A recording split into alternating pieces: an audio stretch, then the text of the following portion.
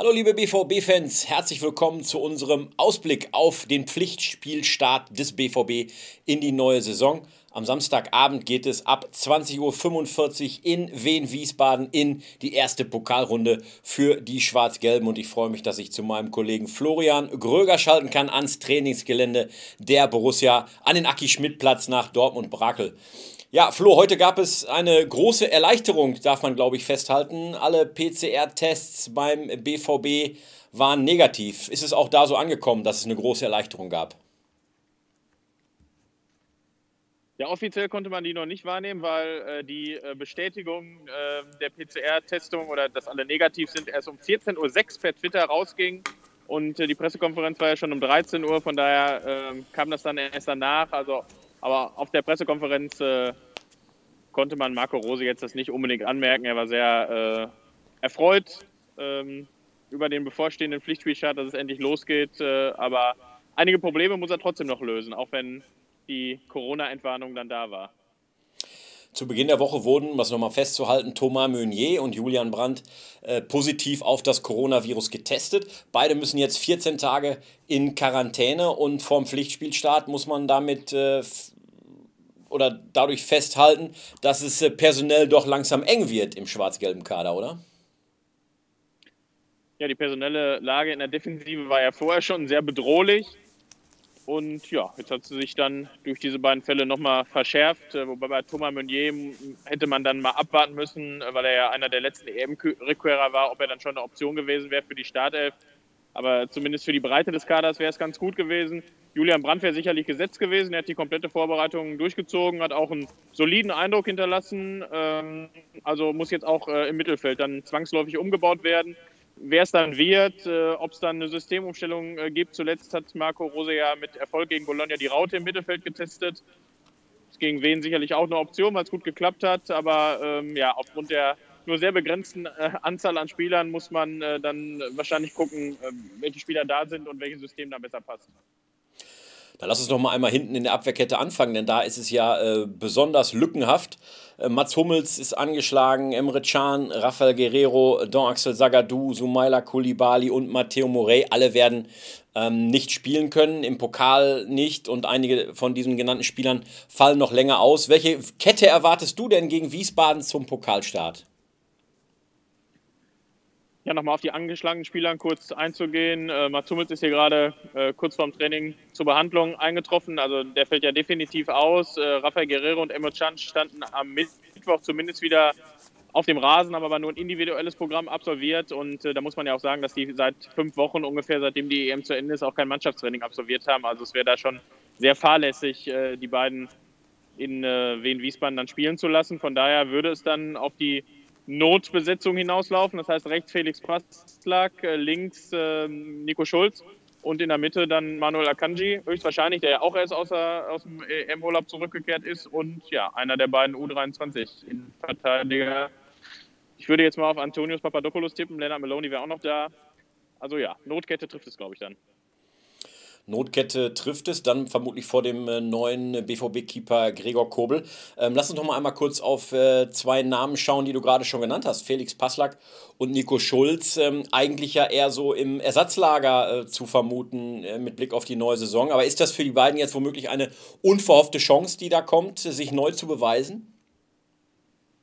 Ja, ganz kurz zur Erklärung, das war gerade Teammanager Anne Nierster, alter Witzbold, hat sich einmal hier ins Bild geschlichen. Die Aufmerksamkeit sollten wir ihm, sollten wir ihm einmal schenken. Ähm, um auf deine Frage zurückzukommen, ja, also ähm, der Vertrag mit Felix Passlack wurde ja ähm, im April oder Mai äh, um zwei Jahre verlängert.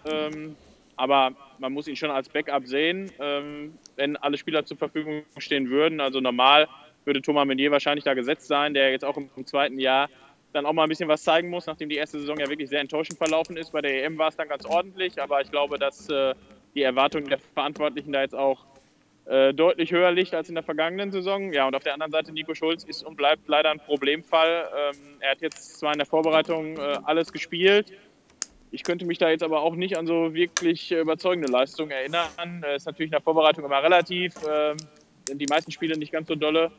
Aber ähm, also wirklich nachhaltig in, äh, in Erscheinung hat er sich da jetzt nicht gebracht. Ähm, ist natürlich auch noch ein Verkaufskandidat. Weiterhin war er schon länger. Ähm, aber bei dem Gesamtpaket äh, Ablöse, der BVB möchte sicherlich da auch noch ein paar Millionen Euro haben. 25 äh, haben sie mal bezahlt, die werden sie natürlich nicht bekommen. Und ja, Knackpunkt ist natürlich das Gehalt. Also er wird im hohen einstelligen Bereich liegen oder nicht im hohen einstelligen Bereich, Millionenbereich. Das wird er bei anderen Clubs mit den äh, Leistungen, die er hier gezeigt hat, wahrscheinlich nicht bekommen. Und ja, also Verkaufskandidat ja, aber ein Wechsel bis äh, zum Ende der Transferperiode dann trotzdem relativ unwahrscheinlich. Ja, und womöglich ist er ja in diesen Tagen, wo denn da große Abwehr, personelle Abwehrsorgen beim BVB zu beklagen sind, ja nochmal eine wichtige Rolle spielen müssen. Äh, lass uns ins Mittelfeld schauen. Du hast gerade schon gesagt, äh, Jule Brandt wird aufgrund seiner Quarantäne nach, der, nach dem positiven Corona-Test nicht mitwirken können. Nicht jetzt im Pokal und auch nicht äh, in den Spielen, beiden Spielen im Supercup und gegen Frankfurt danach, äh, gegen Frankfurt im Supercup danach. Ähm, Moda Hut ist einer, der sich in den Vordergrund gespielt hat in der Vorbereitung. Ist er einer, dem jetzt so eine Schlüsselrolle zufallen kann im BVB-Mittelfeld? Ja, absolut. Also war ja im äh, letzten halben Jahr unter Edin Terzic schon so eine kleine Wiedergeburt, muss man sagen, weil vorher dachte man ja auch, äh, klassischer Verkaufskandidat, jetzt dreieinhalb Jahre da und nicht wirklich überzeugt, immer technisch gut, aber in der Umsetzung haperte es dann auf dem Feld häufig die falschen Entscheidungen getroffen. Äh, mit den Trainern kam man jetzt auch nicht so gut zurecht, muss man sagen. Hat er jetzt auch zuletzt im BVB-Podcast bestätigt, dass es da nicht alles so gelaufen ist, wie er sich das erhofft hatte. Aber wie gesagt, seitdem äh, Edin Terzic das Ruder übernommen hatte und jetzt auch unter Marco Rose immer gespielt und wirklich ansprechende Leistungen gezeigt, ist ja einer auch der wenigen Spieler, die auf dem Platz äh, häufig den Mund aufmachen. Pusht die Mannschaft auch immer und jetzt passt auch äh, so das Gefälle zwischen dem, was er zeigt und äh, dem, was er sagt. Von daher ist er auf jeden Fall gesetzt äh, in dem Mittelfeld. Äh, wurde ja auch die, durch die Vertragsverlängerung nochmal unterstrichen, auch wenn es dann nur ein Jahr war.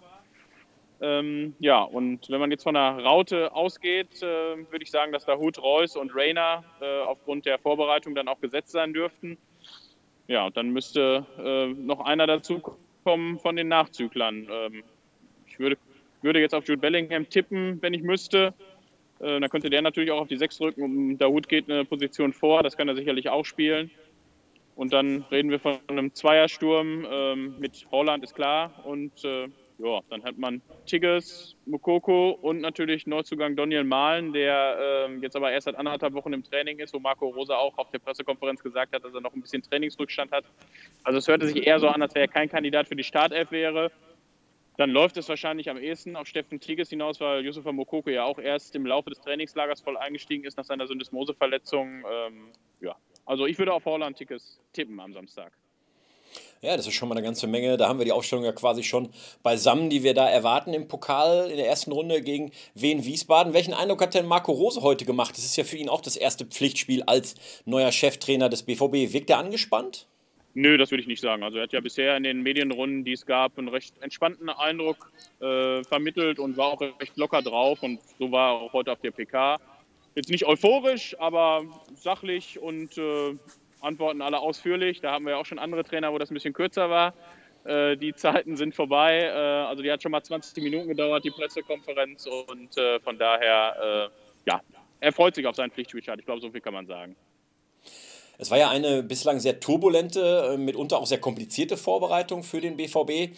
Äh, wie schätzt du es ein? Ist der BVB überhaupt schon reif für den Saisonstart oder könnte es da noch ziemlich holpern? Ja, das ist zumindest zu befürchten. Hängt natürlich dann immer auch so ein bisschen vom Spielverlauf ab solcher Spiele. Ähm, wenn man dann früh in Führung gehen sollte, ist das dann vielleicht bei einem Drittligisten Selbstläufer, aber solange oder so länger es dann 0 zu 0 steht, äh, könnte es natürlich schwierig werden. Dortmund hatte letztes Jahr Duisburg, da haben sie dann 5-0 gewonnen. Das ist jetzt nicht unbedingt zu erwarten. Also ich denke mal, dass es eher nach dem Motto geht, Hauptsache weiterkommen, egal wie. Ähm, dafür war die Vorbereitung jetzt wirklich zu kompliziert und die Corona-Fälle haben jetzt übrigens dazu beigetragen. Also ich denke mal, weiterkommen, egal mit welchem Ergebnis, es muss keine Verlängerung und weil ich auch kein Elfmeterschießen sein, würde hier sehr gerne genommen. Dann sag uns doch noch mal eben zum Abschluss, wie geht es denn jetzt bis zum Pokalspiel für den BVB weiter? Wie ist der Ablauf denn noch bis zum Samstagabend für die Profis? Ja, also am Donnerstag äh, steht jetzt gleich äh, das Mannschaftstraining an, nach der negativen Testung zum Glück, ganz normal, äh, natürlich unter etwas verschärften Bedingungen. Dann wird am Freitag äh, frühen Nachmittag nochmal trainiert und dann geht es mit dem Bus Richtung Wiesbaden. Kann auch sein, ich weiß es jetzt nicht genau, dass auch in Frankfurt übernachtet wird. Ähm, und dann hat man noch den ganzen Samstag vor Ort, um nochmal Gespräche zu führen, Anschwitzen, Spaziergang, die, die obligatorischen Sachen, die an so einem Spieltag halt passieren. Also ich denke mal, da wird am Ablauf jetzt nicht grundsätzlich was geändert. Und dann wird gespielt am Samstagabend und danach wird es dann äh, direkt mit dem Bus zurückgehen. Dann äh, vielen Dank, Florian Gröger vom Trainingsgelände BVB, für deine aktuelle Einschätzung. Danke dir. Gerne, Grüße Ja, Studio. liebe BVB-Fans und äh, für euch natürlich noch der Hinweis, am Samstagabend begleiten wir natürlich das Pokalspiel des BVB äh, auf all unseren Kanälen, die ihr hier eingeblendet seht und unsere Live-Show beginnt um 20 Uhr am Samstagabend. Da liefern wir euch kurz vor dem Anpfiff eben alle wichtigen Infos. Wir sprechen mit einem Experten aus Wiesbaden und äh, beleuchten mal ein wenig mehr noch den Gegner aus der dritten Liga, den wir sonst nicht so auf dem Schirm haben. Und generell lohnt es sich natürlich bei runterrichten.de sich durch unser Programm zu klicken, da das aktuelle Angebot gilt noch bis zum äh, ersten Saisonspieltag in der Bundesliga. Die ganze Hinrunde, unser ganzes Abo-Paket, quasi eure Hinrundendauerkarte bei uns für die ganze Hinrunde für 12 Euro. Da könnt ihr also noch zuschlagen und das äh, Abo, die Dauerkarte abschließen bis zum ersten Spieltag. Also klickt euch durch www.ronarichten.de slash bvb.